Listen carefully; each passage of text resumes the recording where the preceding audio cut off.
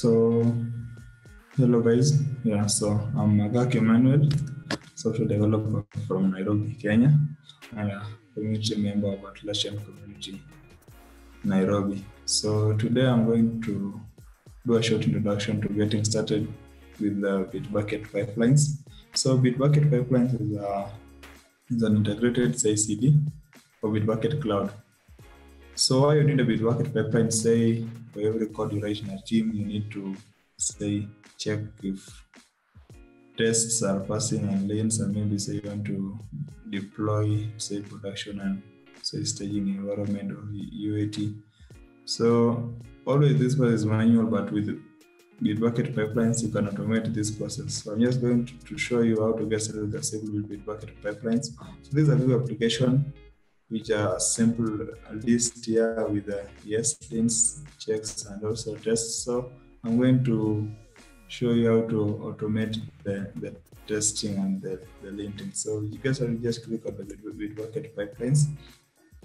And so on the onboarding screen, Bitbucket itself is easy to use as been explained and it gives you free 50 minutes build. So there are templates here to get you started quickly. So there is a say you can see C++, you can see Go, you can see Ruby, you can see Node.js, PHP, and there, there's so much more. You can also check going down. So I'll, I'll click on the on the Node because the as the JS application. So then you come here and you see Bitbucket gives you an IDE to edit your, your pipeline. So also there are also awesome awesome stuff. You can also add steps. Yeah, there's also some stuff like, like pipes. Yeah, you can also if you want to do a Sonar scan, you want to deploy to Firebase to AWS, Bitbucket itself has defined these steps for you and they're called pipes, which so makes the work even easier.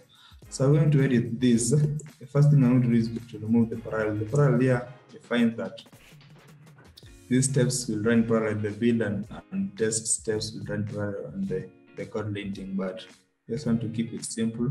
So what this what this Bitbucket pipelines.yml does is that first it pulls the node image, the node 10.15.3, and in the pipeline set it defines a default a default pipeline, which means this default means it will run for every branch, for every commit or push or pull request or merge request for every branch.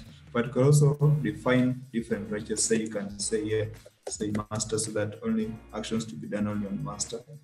But for now, we just leave it default. So just do this, and the IDE is so smart that it when the, it detects an error and it can't allow you to commit. So I just indent this. Yeah, so the first step, this this code is correct, but we'll just modify it to, to fit our need. So for this one is npm, just do npm run run test unit for just run test unit.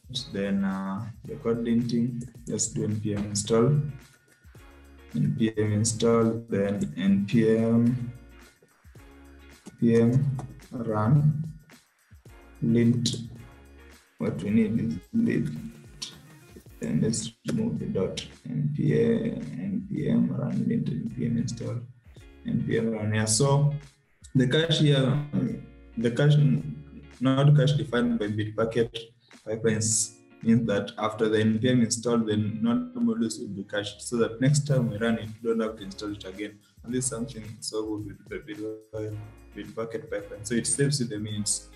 So there are also others defined for different languages, like the, the composer and uh, you know for Ruby there's or for every other class which which are the depth dependencies are defined. But you can also the good thing you can also define as. So I think if I was doing I'll just commit this uh, just commit the file.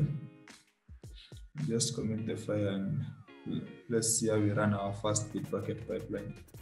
Yeah, so we successfully set up the pipeline, so it's running. So as it's as it's building the setup, so you can go and advance this, and maybe after doing the, the build and the test and the code linting, maybe you want to deploy to Heroku, want to deploy to your AWS servers or any other any other VPS or want to do like say notifications, which is so easy, and even with the the Bitbucket pipes I've just shown you on, on the onboarding screen, it even makes it very easier. So those are points to explore. So you see the steps we define the build setup. So this way it, it puts the node image and does the cloning. Then uh, then it runs then it runs the npm install, then 19 seconds, then npm run test, then it closes that that step. Then uh, the code linting, just in a just just see the steps. So it's the builds, the build up, then uh, then the npm install. You realize this time is 19 seconds from the is 11 seconds from the previous 90 seconds. Now that's the advantage of the of the caches I, as I mentioned earlier. Then now the npm run lint and build there. So you see we've automated our build and test and code linting. So from this point, it's so easy to know whether a branch is successfully ready for merging or so. We just did our first deployment of the Bitbucket pipelines. Yeah, and uh, thank you. And continue building with confidence with Bitbucket pipelines.